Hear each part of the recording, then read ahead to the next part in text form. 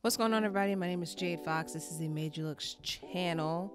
I was about to film the voiceovers for the looks that you're going to see in this video, and this video is five no fail. I don't even know where the got five no fail summer fits. I'm gonna explain why each of them is a no fail, so don't even worry about that. But I wanted to do a quick little intro, introducing the video, but also kind of explaining what my definition of a no fail fit is, especially during the summertime.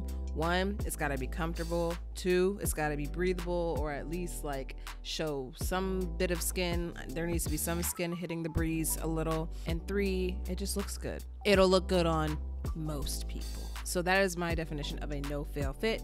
Um, but I'm gonna stop talking. Let's get into these looks. Light layers are going to be your friends during the summertime.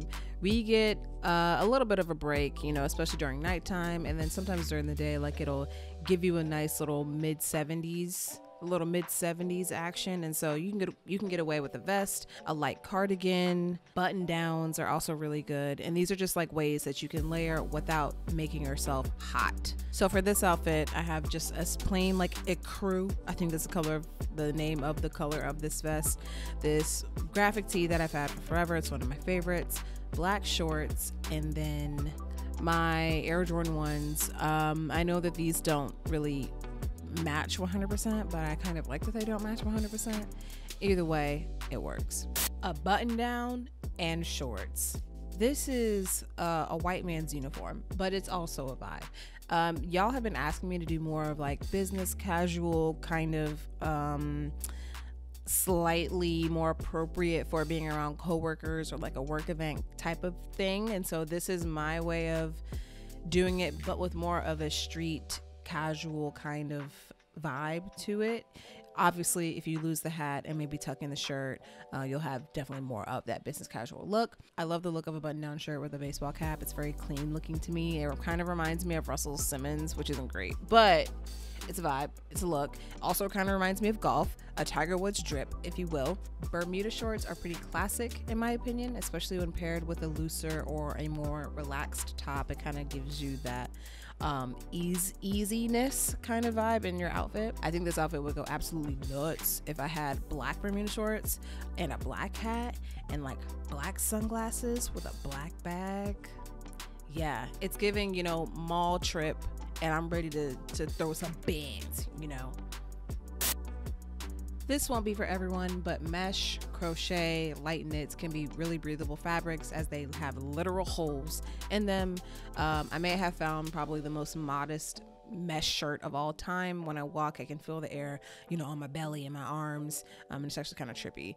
But you can wear mesh layers underneath button downs, underneath little like jackets, too, just in case you're not comfortable, um, you know, having the whole body out. Like, I completely understand. I think mesh can have whatever kind of vibe you want. This is more of a vacationy kind of summery vibe, but I've seen mesh looks that are more dramatic uh, or chic or edgy. Mesh, crochet, a light knit, something that has a lot of like holes in it.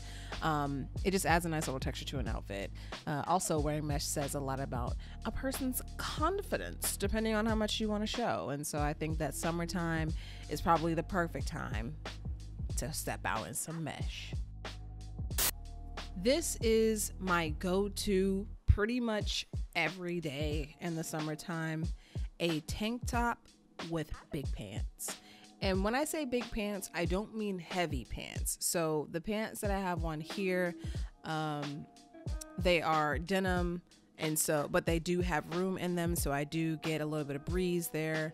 Um, you could also throw on like a nice little sandal and have even more breeze if you wanted to do that. Uh, your pants could be a harem pant, cargo pant, whatever kind of big pants you have that aren't super heavy.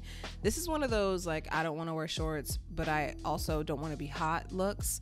As y'all know, if you've been on this channel before, I live for a muscle tank. It's pretty much my go-to, like I said, in the summertime because I'm able to get off my little androgynous look, but also, you know, be breezy, have the arms out, have the guns out, you feel. And this silhouette, regardless if you decide to go a little uh, more fitted in the tank top, uh, or more looser like I did.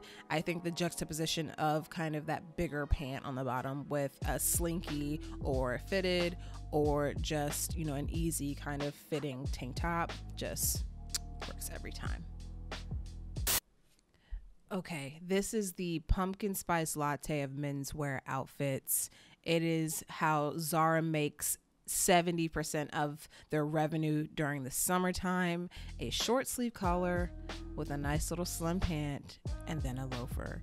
Uh, it's basic as fuck and it's overdone, but it's that popular because it just works. It looks good. Like things that are basic are basic, sure, but they become that way because they're so popular and because there's clearly something about them that people gravitate towards.